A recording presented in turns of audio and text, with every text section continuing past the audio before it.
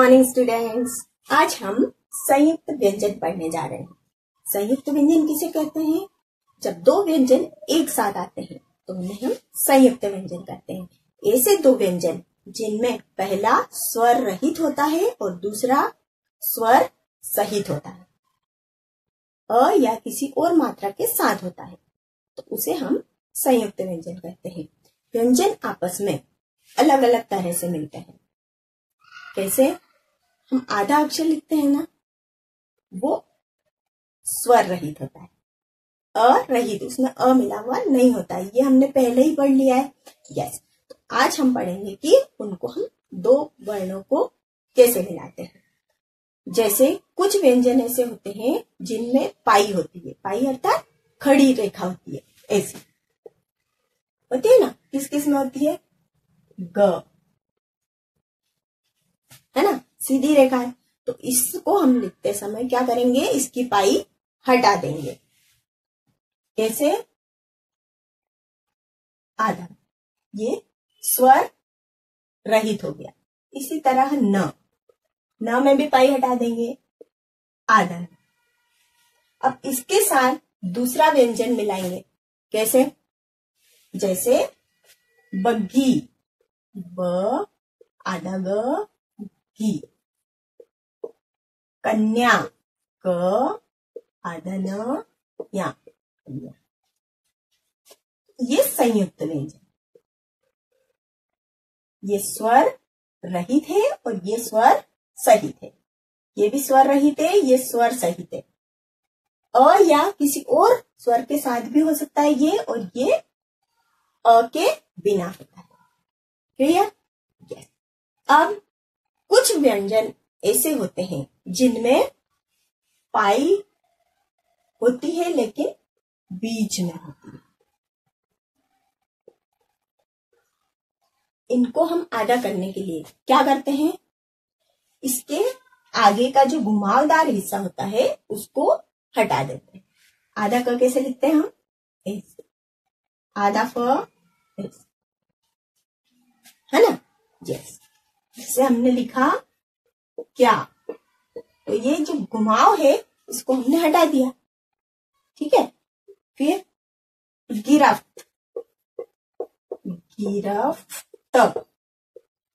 फ का घुमाव हमने हटा दिया। कुछ व्यंजन ऐसे होते हैं जिनमें पाई नहीं होती।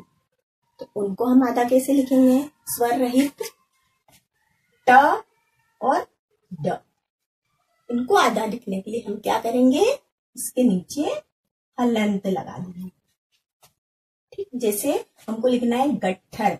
ग, आधा ट, ठ, र। गट्ठर। गड्ढा। ग, डा। हमने इसको स्वर रहित लिखने के लिए क्या किया? हलंत लगाया। क्लियर? अब आते हैं र के रूप। र जब किसी व्यंजन से जुड़ता है तो अपने पहले या बाद वाले वर्ण पर नीचे या ऊपर चिन्ह के रूप में जुड़ता है। कैसे? देखिए। क, र, म। क, र से पहले जब कोई व्यंजन स्वर रहित होता है तो वो नीचे लगता है। क्रम। क्लियर? र से पहले जब कोई व्यंजन स्वर रहित होता है तो वो नीचे मात्रा रूप में जुड़ता है। क्रम, भ्रम।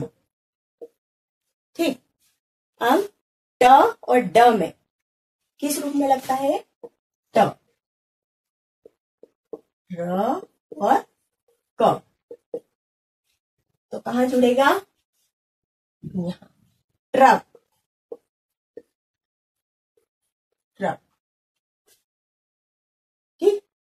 इसी तरह से ड्रम में भी।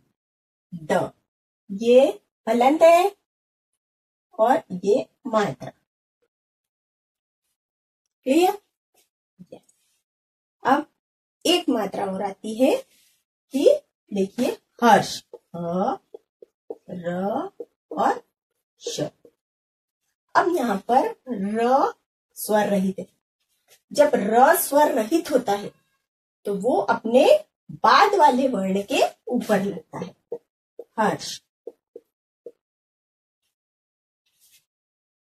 क्लियर ऐसे ही कर्म, क, आधा र और म, कहा जुड़ेगा? संयुक्त व्यंजन। दो भिन्न भिन्न व्यंजन जुड़कर संयुक्त व्यंजन बनते हैं। इनमें से पहला व्यंजन स्वर रहित और दूसरा व्यंजन स्वर सहित होता है। आओ देखें कौन सा व्यंजन कैसे संयुक्त होता है। बीच में खड़ी पाई सीधी रेखा वाले व्यंजन। क क, मक्खी, मक्खन, फ फ, दफ्तर, हफ़्ता।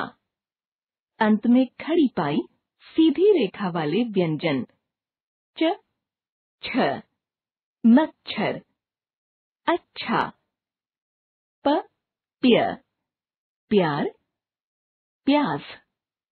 त, त्य। त्याग। सत्य।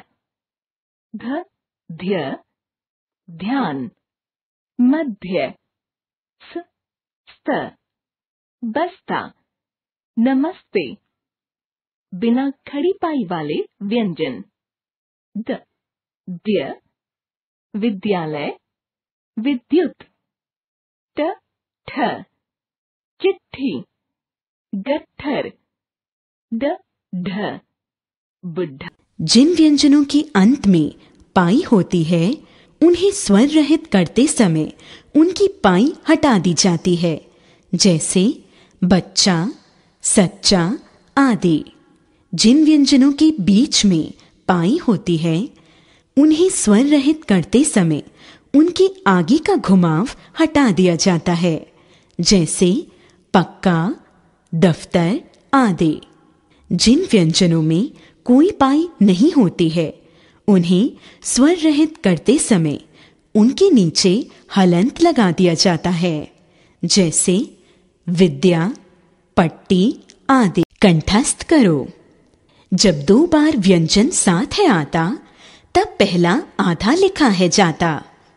संयुक्त वर्ण ये व्यंजन कहलाते, शब्द तभी सार्थक बन पाते। आज हमने क्या क्या पढ़ा?